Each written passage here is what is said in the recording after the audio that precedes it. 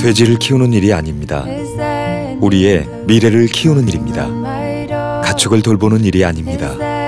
당신의 마음을 돌보는 일입니다.